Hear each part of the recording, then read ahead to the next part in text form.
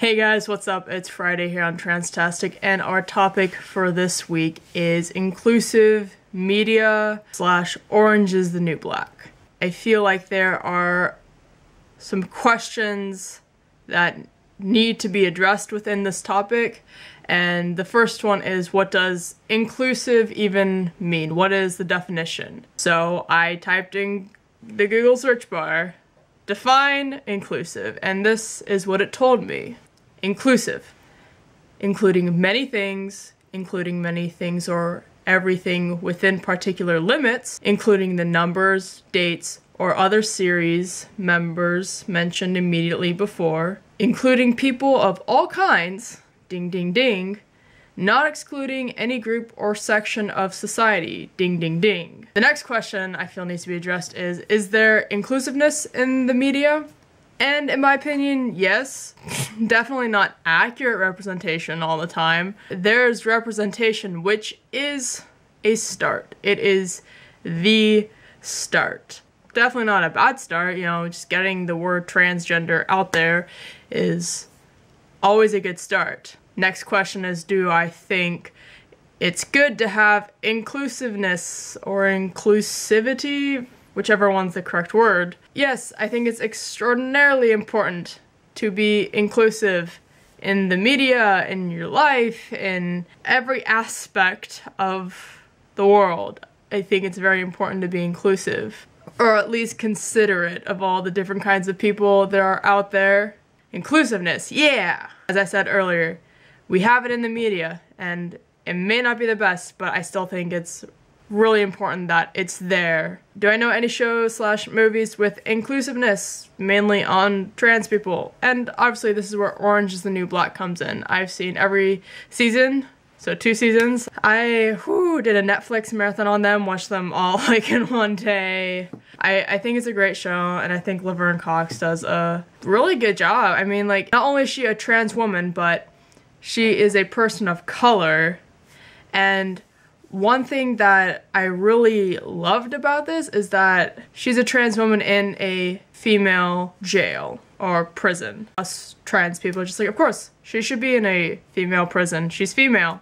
Within like the laws and government, that doesn't always happen. In fact, most of the time it doesn't happen. Like she worked with this trans woman, Cece McDonald, who was who is a trans woman who was in a male designated prison. And I'm pretty sure that's more typical to happen to trans women to get, if they do go to jail, to be sent to a male prison, even though they should go to a female prison. And in the show, Laverne Cox plays a trans woman, which is also great.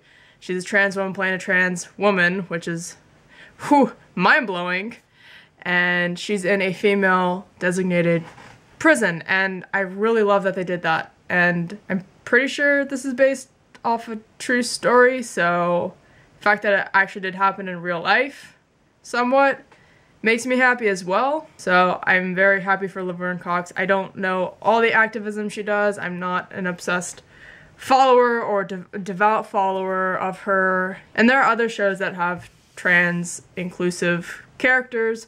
And the first character that was trans on a TV show that I came across was in The L Word and the character Max Sweeney, played by Daniela Sea. She's female and presents as female, but like when I research her, she's just like, I'm more like gender fluid or whatever.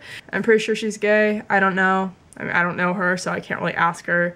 And I only did like a minute worth of research on her. She played the trans male character Max Sweeney on the L Word. And when I first came across him, I was like 15, and I thought this was great. Like this is the first time I came across a trans character. Opened the horizons for me. And I didn't see him as a bad character, although like as I got older, other people were saying they didn't like Max Sweeney and that he was a poor representation of trans men, and they didn't do a good job with him.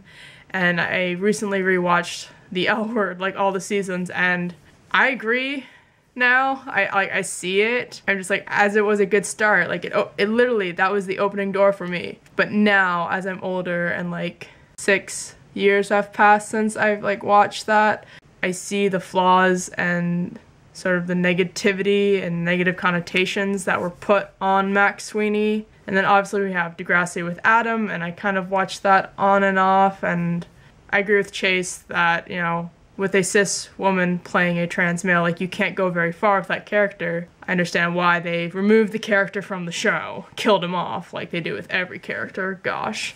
And then I read an article like a year ago that they're trying to some some playwright or whatever is trying to make a show called Z trans male living in Texas coming out to his family and they're all super unaccepting and he realizes he's the only functional one in a dysfunctional family I, there are many more shows and movies with trans characters in it, but most of them are played by cisgender people.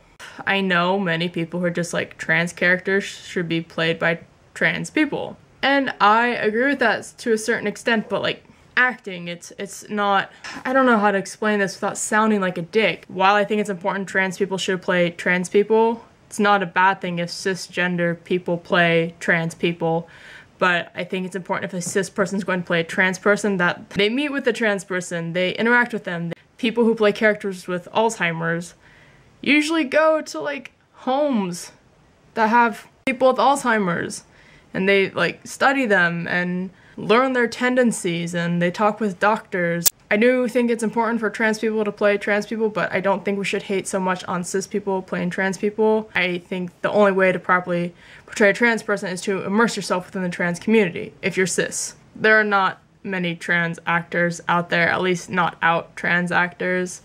And the ones that are generally play trans characters, which is not a bad thing, but the trans characters sometimes may be prostitutes or dead or going to be dead very soon. Characters that don't go very far in the plot and writers or people who write scripts or shows or movies or whatever they need to create more trans characters that like are normal. They're average people, they have a day job, they have a partner of some sort, they may have kids. We need more of that kind of representation that we're really, really average people. Those are my thoughts and opinions and ideas about inclusive media slash orange is the new black, and I will see you all next week.